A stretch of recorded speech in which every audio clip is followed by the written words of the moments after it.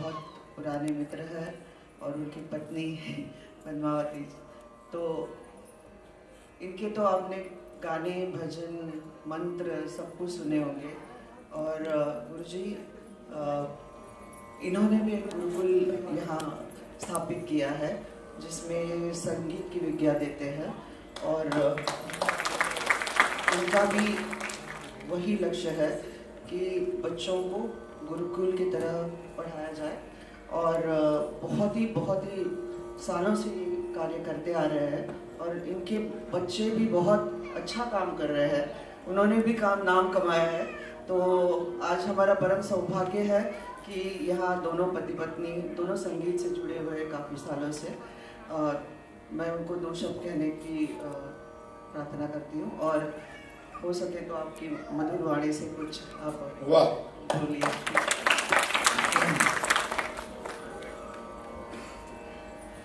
परम पूजनीय महाराज जी, मेरी बहुत ही लाडली दोस्त स्मिता और यहाँ पर उपस्थित सभी भक्तगणों को मेरी बहुत बहुत नमस्कार। मुझे बड़ी खुशी हो रही है कि ये हमारी बहन बहुत, वैसे ही बहुत अच्छा काम करती है समाज के लिए। और ये भगवत कथा का जो आयोजन किया है, और हालाँकि शुरू में ही आना चाहिए था मुझे, मगर स्वास्थ्य की वजह से नहीं आ पाया मैं। मगर आज कुछ भी करके मैंने कहा कि थोड़ी देर में जाके आता हूँ। पन्ना को कहा कि हम लोग जाके आएँगे। और आपके दर्शन भी करने थे। आपके बारे में बहुत सुना था। यूट्यूब पे देखा भी था। और आज पहली बार आपके दर्शन हो रहे हैं। मैं बड़ा भाग्यशाली हूँ। बस इसी तरह आपका आशीर्वाद हमेशा स्मिता के ऊपर रहे। क्योंकि ये ये क्या है, ये मैं, मेरा दिल जानता है। उन्होंने मेरे इसी स्कूल के लिए जो कुछ किया है, वो इनके बाकी लोग कोई कर नहीं सकते थे। बड़ी बात। बहुत बड़ी मदद जिसकी वजह से ये भवन में खड़ा कर सका। ये जगह ही स्मिता ने दिलवाई है मुझे जो, मेरा जो सेकंड हमारा जो प्लॉट है, जिसकी वजह से मैं अपने काम को आगे बढ़ाने में इसका बहुत बड़ा सहयोग है, जिसके लिए मैं ताउम्र में इनका ऋणी रहूँगा। और आज मैं यहाँ पर आके और वो भैया भी मुझे दूर से इतनी उंगली दिखा रहे हैं।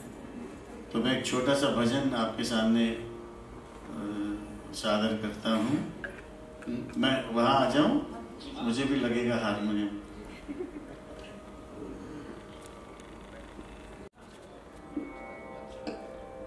Thank you.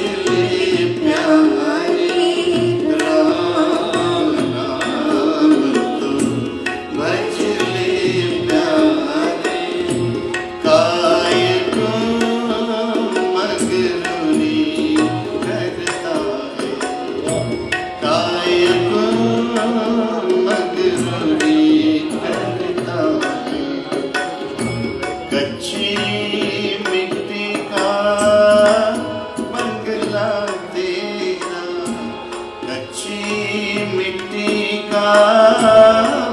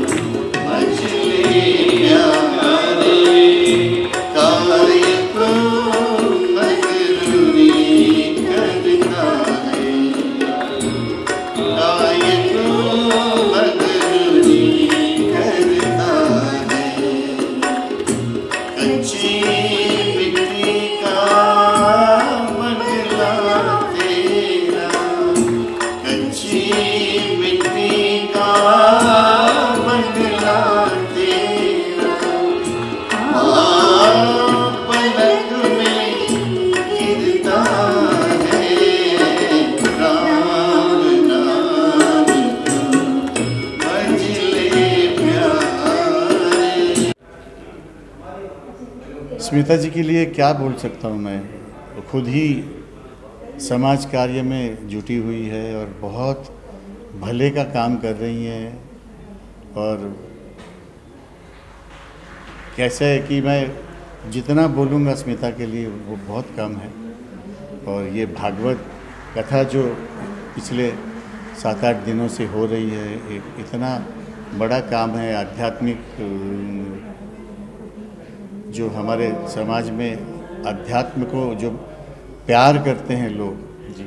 और प्यार क्या करते हैं कि अध्यात्म के बिना तो हम हमारी ज़िंदगी कुछ है ही नहीं। और ये बहुत अच्छा काम स्मिता ने इस बार किया है। मैं जिसके लिए उसको बहुत बहुत बधाइयाँ देता हूँ। और मैं यही चाहूँगा कि ये हर साल स्मिता करें और इसका लाभ पूरा बम्बई शहर और हो सके तो पूरा महाराष्ट्र इसका लाभ उठाएँ। और मैं, मेरे लायक जो भी जो भी काम होगा, मुझे स्मिता हक से कह सकती हैं, मैं हाजिर हो जाऊँगा। इसके बाद बॉम्बे के बाद पूना और बाकी शहरों में भी कोल्हापुर का प्लान अच्छा, कर रहे हैं। तो पद्मा जी आप क्या कहना चाहेंगे? आपने तुलसी महाराज जी को ये मुंबई में पहला जी। हाँ मैं उनके बारे में भी और तुलसी जी महाराज को मैं पहली बार पर्सनली देख रहा था। वैसे उनको यूट्यूब यूट्यूब पे वगैरह मैंने बहुत देखा था। और बहुत प्रसन्न हुआ मन। इतनी ज़बरदस्त उनका और है उनके चेहरे पे बहुत नूर है। जो देख के मुझे बहुत अच्छा लगा और मैं जब भी बम्बई में उनकी भागवत कथा होगी तो मैं ज़रूर उनके दर्शन करने आया करूँगा।